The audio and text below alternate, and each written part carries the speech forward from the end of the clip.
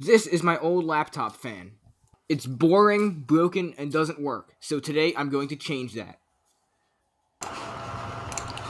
I will do that by replacing the weak 2.5 watt brushless motor with an extremely overpowered motor that I upgraded in the last video. I also 3D printed a new impeller that is more lightweight and fits my motor.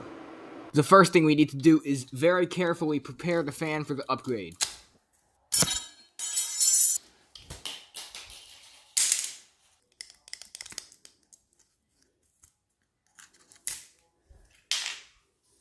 The next thing I need to do is hot glue this motor support ring to the fan's case and hope it's centered properly.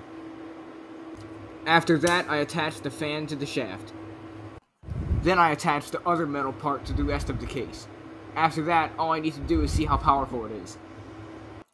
Right now, I am running it at around 4.2 volts.